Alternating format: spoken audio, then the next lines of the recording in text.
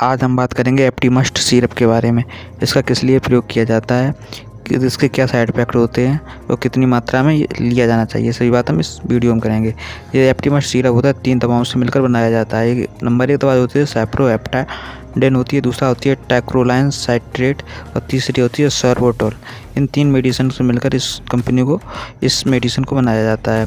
इसकी जो कंपनी होती है, वो मैनकाइंड कंपनी की आती है। अब इसकी बात कर लेते हैं, इसके जो साइड इफ़ेक्ट होते हैं, वो साइड इफ़ेक्ट देखने वाली बात होती है, इसके कई साइड इफ़ेक्ट होते हैं जैसे कब्ज बनना, पेट में आपको कब्ज बन सकती है, मुँह में सूखापन मुँह सूखा सूखा सा रह सकता है, सुस्ती बढ़ सकती है आपको, नींद आने की समस्या हो सकती है, या धुंधली नज़र हो सकती है।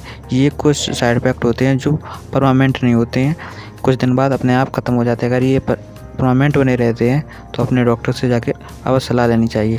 इस सीरप का प्रयोग अपने डॉक्टर की सलाह पर ना करें। डॉक्टर की सलाह पर ही इस मेडिसिन का प्रयोग करें। किसी भी मेडिसिन को लेने से पहले डॉक्टर की सलाह लेना अवश्य ज़रूरी होता है।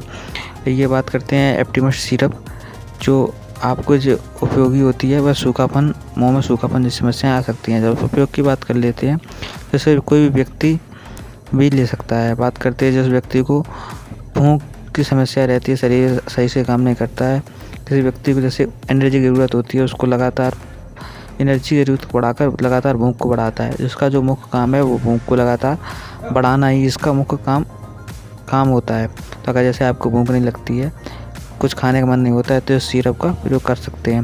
जैसे भूख की कमी के इलाज के लिए इसका प्रयोग किया जाता है, जैसे आपके शरीर में न्यूट्रिएंट्स या पोषण की कमी हो गई है तो उसको अच्छा करने अच्छा करने के लिए इस सिरप का प्रयोग किया जाता है।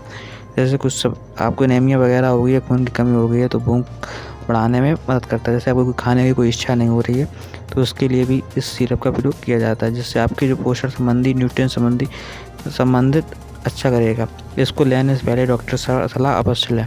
बिना डॉक्टर की सलाह पर इसका मेडिसिन का प्रयोग ना करें। अगर इसका उपयोग की बात कर लेते हैं। उपयोग में पाँच एम सुबह शाम आप प्रयोग कर सकते हैं या फिर डॉक्टर की बताई हुई मात्रा के अनुसार ही इसका प्रयोग किया जाना चाहिए। अगर एल्कोहल लेते हैं, शराब पीते हैं तो असुरक्षित हो सकता है क्योंकि इसके बाद आपको नींद आ सकती है।